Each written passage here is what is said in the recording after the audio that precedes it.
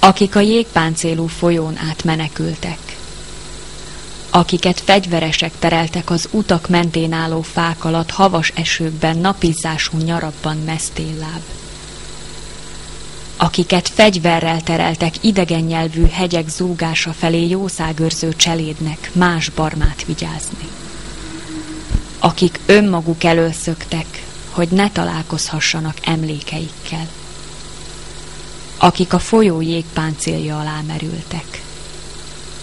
Azokról beszélek.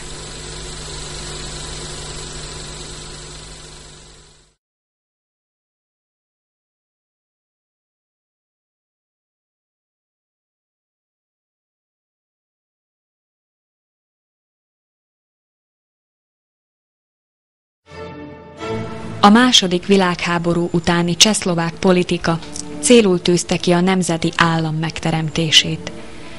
Ennek érdekében kitelepítéssel, illetve beolvasztással fel akarta számolni a három milliós német és a közel 800 ezres magyar nemzetiséget. Az 1945 áprilisában meghirdetett kassai kormányprogram a magyar nemzetiséget tette felelőssé Csehszlovákia felbomlasztásáért. Május 9-én a győzelem ünnepén Eduard Benes a következőket nyilatkozta. A németek és a magyarok túlnyomó részének el kell tőlünk mennie. Ez végérvényes elhatározásunk. Népünk már nem élhet németekkel és magyarokkal közös hazában. Az elnökkel szinte egy időben nyilatkozott Clement Gottwald is a rádióban. A németeket és a magyarokat akik olyan súlyosan vétettek nemzeteink és a köztársaság ellen, megfosztjuk állampolgárságuktól, és szigorúan megbüntetjük. Benes köztársasági elnök rendeletben fosztotta meg a csehszlovákiai magyarokat állampolgári jogaiktól. 1946. júniusában megkezdődött a magyar lakosság körében az úgynevezett reszlovakizáció. Ennek során a magyarokat választás elé állították.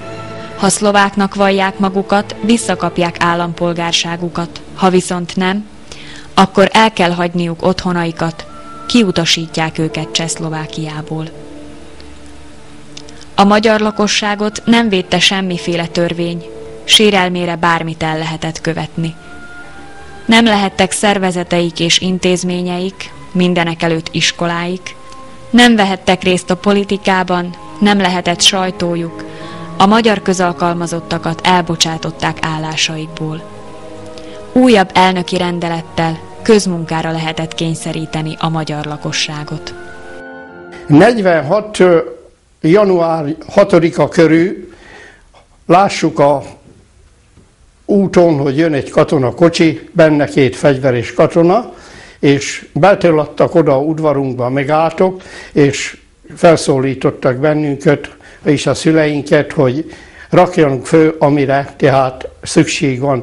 A 40-45 perc időt adtak körülbelül, és amit hát arra a kocsira főfért, azt felraktuk, a többit ott kellett hadni.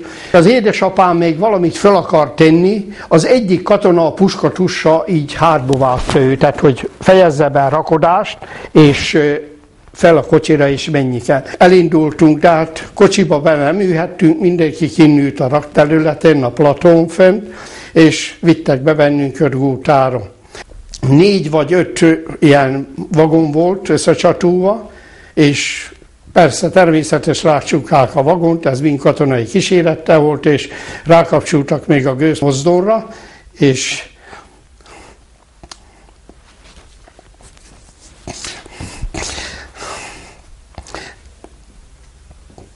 behoztak Komáromba, itt aztán összeszedték az összes vagont, és úgy elindultak velünk.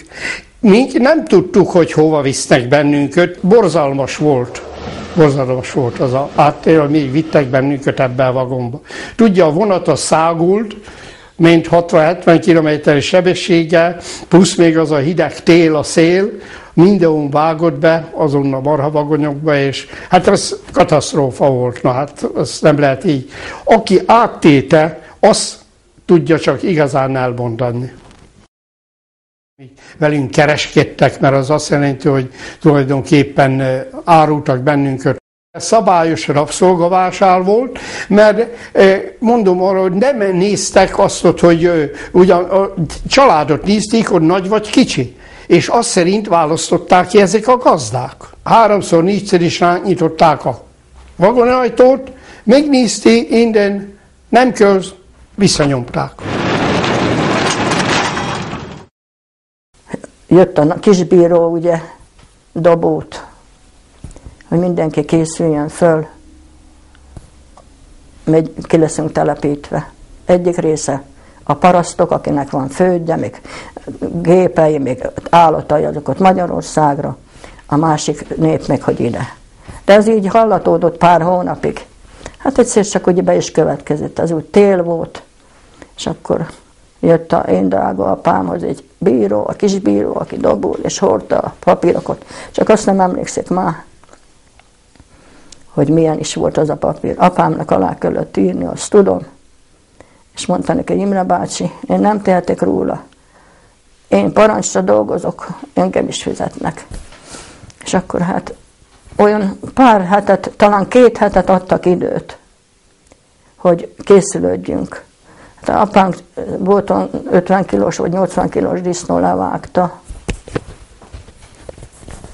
Kenyeret sütöttek, kalácsot sütöttek, mindent, amit csak tudtak, készülődtek. Aztán ugye, mikor bekövetkezett a telepítés, hogy már jöttek, hát akkor katonák, szlovák katonák. Körülvették a falut, mind fegyverekkel, és ott álltok abba a hóba, és vigyáztok minket, hogy el ne menjünk. Akkor ugye bent a házak előtt még autók pakultak, csomagoltak, de segítkeztek katonák szintén. Amink volt a ingó dolgokat, mindenkinek volt egy vagon, amilyen volt, belerakta. Hát nekünk ugye voltak állatok, disznók, kismalacok, sok szén, fa, rengeteg, mert apám minden évben fa munkát végzett, és ugye abból, avval tüzeltünk akkor kukorica, buza, krumpli, bab, ilyen élelmek. Ezt mind-mind bepakolták egy, egy vagomba, de hát ez hossz, elég hosszan idő, időig tartott. Na aztán ugye, mikor ez már mind megtörtént, akkor már most mink is menjünk. De a gyerekeim azt mondja, álljatok meg, nézzetek vissza, nézzétek meg ezt a kis házat. Én majd ide vissza nem jövök, azt mondja. De ti, ha visszajöttök, nagyon becsüljétek meg ezt a én keserves kis házamat, ahogy én fölépítettem. Letérgyelt, és még csokulta a földet. A kitelepítés az általános munkakötelezettségről szóló elnöki rendeletre hivatkozva történt, törvényellenesen, mondván, hogy a magyarok közmunkára, államérdekből bármikor, bárhova, bármennyi időre igénybe vehetők.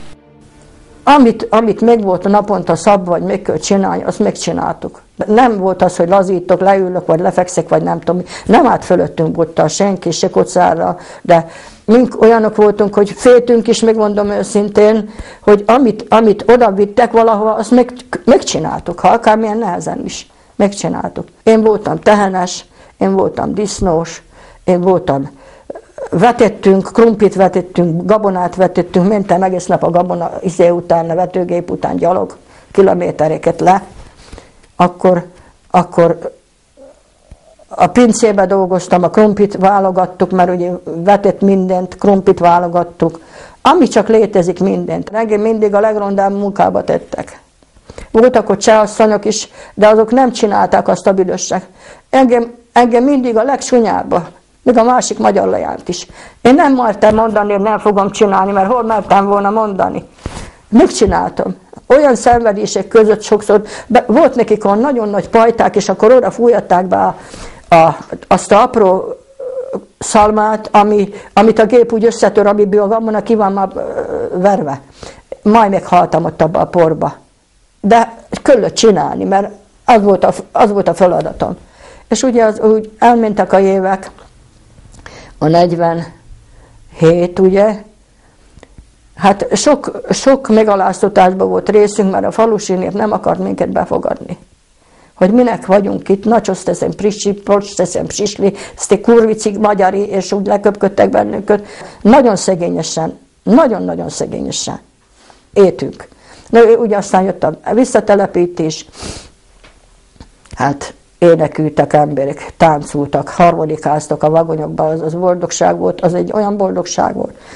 De nekünk egy kis baj volt, mert a mi házunkban tettek egy özvegyasszont. Apánk nem jöhetett be a házába. Azon kesergett, hogy hova megyek gyerekek. De volt családrokonok, nagyanyánk, és az befogadta apánkat. És ott lakott addig, amíg ez az asszonka nem ment onnét ki, amíg nem kapott egy másik helyet. Mert körülött, hogy biztosítsanak neki, mert úgy utcára nem lehetett kitenni senki. Kap, aztán bement a saját házába én apám, de ez beletellett körülbelül egy fél évbe. A kitelepítés a 16 és 55 év közötti férfiakra, valamint a 18 és 45 év közötti nőkre vonatkozott. Kivételt képeztek a terhes nők, a családfenntartó nők, a testileg vagy szellemileg fogyatékosok, az öregek, a gyerekek és a betegek. A törvényel ellentétben viszont a magyarokat gyakran családostul, terhes asszonyokkal, gyerekekkel együtt, katonai kíséret mellett kényszerítették lakóhelyük elhagyására.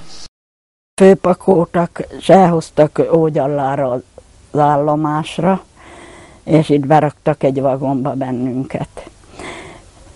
Hát aztán édesapám, még a férjem kitalálták, azt mondja, hogy hogyan lesznek ezek a gyerekek ebbe hidegbe, decemberben, azt mondja, ez borzasztó, hogy beállították a sparheltot a vagomba. Amikor a pici babát én tisztába raktam, pelenkáztam, az úgy gőzött az a pelenka. Hát, tessék elképzelni, hogy mit éreztem én. A könnyeim hullottak a pelenkára, de ez a kicsi nem marad még. Nem létezik. Aztán akkor csak voltunk, voltunk. Amaz a kis másik, a két éves, azt még hát nem tudtam magam alatt mindig ott tartani, az föl-fölugrott, járkált a vagomba, és azt mondja szegénykém, hogy fázik a Zsuzsi, fázik a Zsuzsi. Hát ilyenek ítétem én át egész úton a vagomba. Azt se tudtuk, hol kötünk ki, vagy mi lesz velünk. Aztán letelt a tél.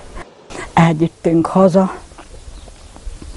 aztán akkor úgy kétségbe voltunk esve, hogy édes Istenem, visszavisznek bennünket, visszavitetnek. Nagyon-nagyon sokat keseregtünk, még rettegtünk, féltünk, és akkor egyszer csak írtak a gazdájék levelet, hogy miért, miért szöktünk meg. A csehországi kényszermunkát, a megpróbáltatásokat, a kegyetlen bánásmódot sokan nem bírták elviselni. Többen hazaszöktek, vállalva a veszélyt, hogy újra értük jöhetnek és elvihetik őket. Akadtak olyanok is, akik már a transport során megszöktek. Muzslai állomás, amikor elindult ki a vonat, kiírt a nyílt pályára, akkor tudtam, hogy na most már utolsó lehetőségem, mert párkámból már nem tudok elszökni, ott már majd vigyáznak ránk. Hogy ez az utolsó lehetőségem, hogy itt valahogyan kiugrani a vonatból. Tött is szélinél mentek a, a, a sének, gondolkozás nélkül abban a pillanatban kivetettem magam, nem számolva a következményekkel. És akkor, ahogy visszanéztem, mindjárt csak a vonatnak a tetejét láttam, akkor nekiálltam szaladni, ameddig csak bírtam, még össze nem estem. Addig, addig szaladtam.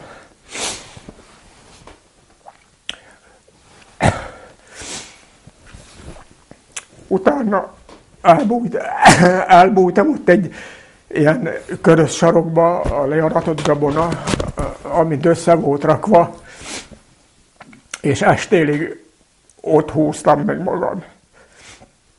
Nappal nem mertem gyönni, mert féltem, hogy a csendőrökkel fognak kerestedni. Este, mikor besötétedett, akkor elindultam hazafelé keresztül a, a, a főleken,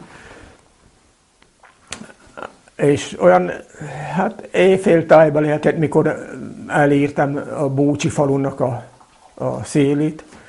A szélső házhoz bementem, bezörgettem, és megkértem az illetőt, hogy legyen szíves, menjen el a nagyanyámhoz, és tudassa vele, hogy itthon vagyok, hozzon enni,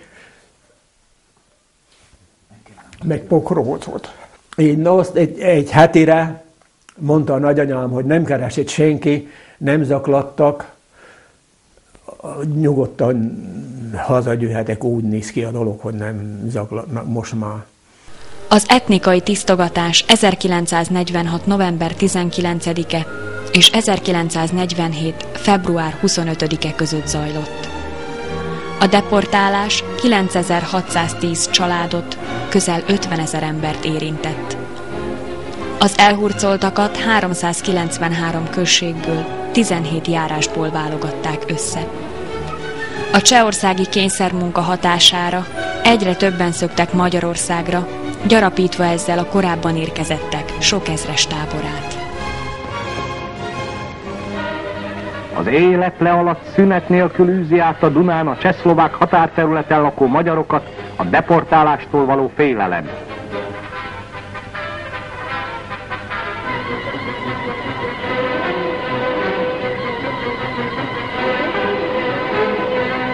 De még a nappali átkelés minden veszélyét is inkább vállalják, sem hogy szeretteiktől elszakítva vitessék magukat a kényszermunka kegyetlen útjára.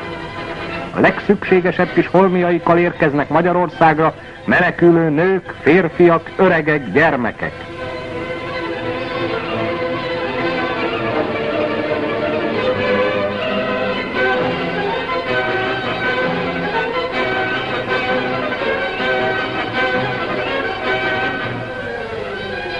Elbeszéléseiket a helyszínre érkezett külföldi laptudósítók hallgatják és edzik, hogy újságaiknak hiteles adatok alapján számolassanak be a csehszlovák eljárás embertelenségéről.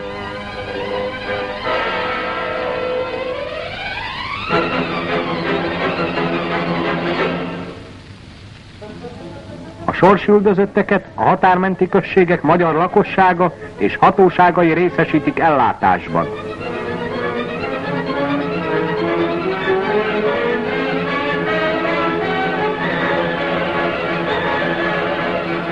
Minden magyar kapuja tárva van szerencsétlen testvéreink előtt.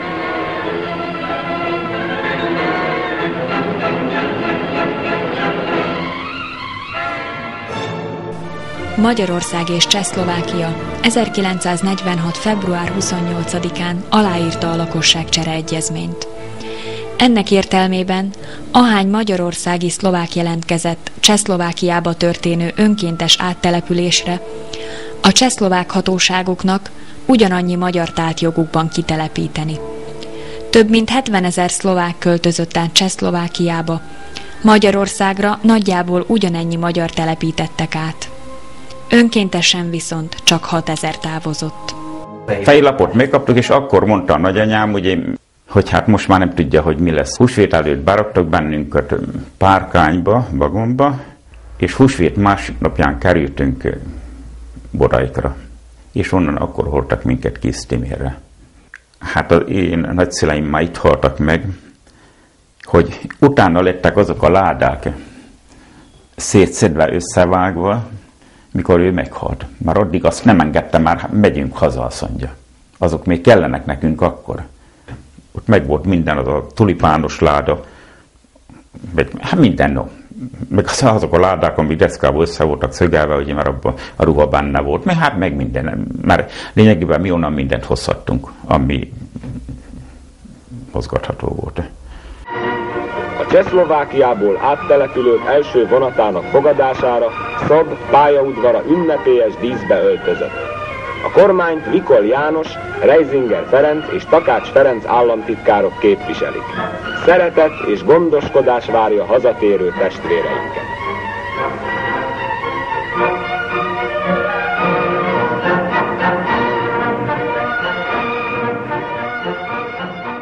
Nagyon gyorsan hoztak bennünket, mert utolsó transporttal hoztak minket. Másnap, akit beraktak, a vagonokból visszahordták. Abban a nagy káoszban a gyerekek mi úgy el voltunk keveredve, azt se tudtuk jóformán hol vagyunk. Iszonyatos sok kocsi, nép, ugye, hogy a vagonajtók nyíltak, aztán pakolták a cuccot ki, idegen emberek segítettek ott. A szüleink avval voltak nagy részben elfoglalva, hogy hát mindenünk meg, meg legyen, ne vigyék máshová. A csehszlovákiai magyar kisebbségre zúdult veszedelmekkel szemben nem maradhatott közömbös a magyar kommunista párt sem. A párt főtitkárának, Rákosi Mátyásnak Stálinhoz intézett levelében a következőket olvashatjuk. Tudom, hogy ön mennyire elfoglalt, de egy olyan fontos kérdés merült fel nálunk, amit nem tudunk megoldani az ön közreműködése nélkül. A csehszlovák kormány és párt úgy döntött, hogy kitelepíti az összes magyart Csehszlovákia területéről. Ezt azzal indokolják, hogy létre kell hozniuk a Szilárd Nagyszláv Föderációt, amit zavar a 600 ezer magyar jelenléte Szlovákiában. A legfőbb érvük, hogy ön egyetért ezzel a politikával, és amikor a csehszlovák delegáció június végén önnél járt, és feltette a kérdést, hogy felléphetnek-e a magyarokkal szemben ugyanúgy, mint a németekkel szemben, ön mintha pozitívan válaszolt volna, sőt ezt mondta, vágjátok szájba őket. A kommunista propaganda ellenére a Magyar Népjóléti Minisztérium körlevélben tiltotta meg az áttelepített magyarok segítését, mondván, hogy ők nem menekültek, önként települtek át Magyarországra. Az mindenki előtt tiszta a rákosi rendszerben, hogy milyen világot étek. Ott keményen talpon kellett maradni. A felvidékieknek jó része ott hagyta a falut. Hát mindenki úgy, úgy fogta föl, hogy az nem az övé. Sokan betelepültek most a Magyaróvára, sziget közbe, közelebb a Dunához. A Duna. A folyó, mely átszeli fél Európát, s mely megélt számos történelmi korszakot. Szemtanúja volt országok virágzásának, hanyatlásának, magasztos vagy kort tévesztett célok megvalósulásának. Hallotta fegyverek ropogását, majd vonatok zakatolását, teherautók zaját, a hontalanok sóhaját. Segítette a menekülőket, a Dunatáj népeit, s a velük egy beszélőket. Örökre magába fogadta a zajló vízben elmerülőket.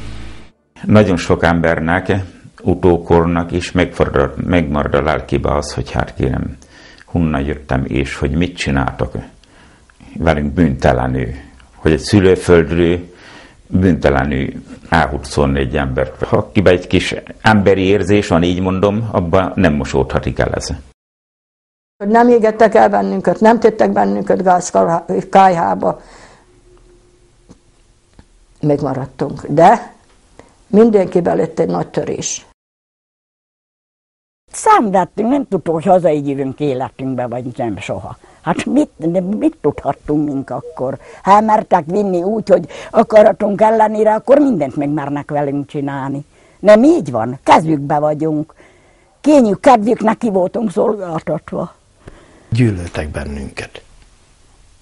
Nagyon sokszor megkaptuk, hogy piszkos túféliek, mocskos túféliek. Soha nem bírtak megszokni.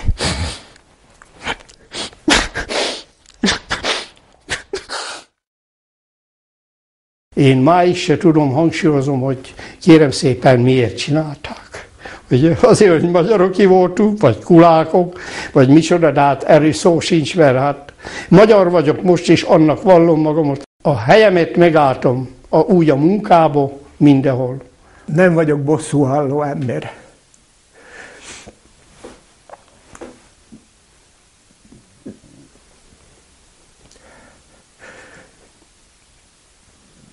Megbocsájtani meg lehet, de elfelejteni nem.